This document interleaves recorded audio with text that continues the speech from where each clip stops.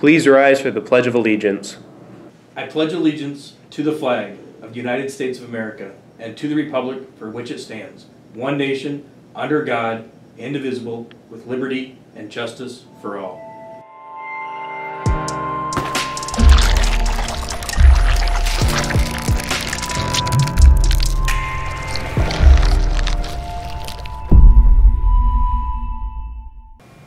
Good morning, Yellow Falcons. I'm Jack Alkema, and you're watching FNN, your school, your news. Let's get right into it.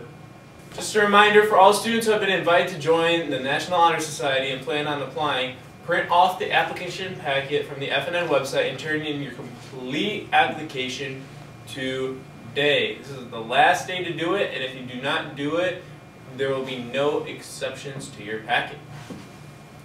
And guys, please vote for Hannah Schroeder for Player of the Week. All you guys have to do is go to the document announcements, click on the link, scroll to the very bottom, and vote for Hannah. Last I checked, she was only losing by less than a percent, so let's show some Falcon pride and let's get her up to first. And for girls soccer, there's a sign-up sheet in the office, so please sign up as soon as possible. And students interested in trying out for baseball this spring must sign up in the high school office. Open gym times and tryout information will be communicated to those who sign up. Softball signups are also out and practices start on March 11. Do not forget to sign up and get that date on your calendar.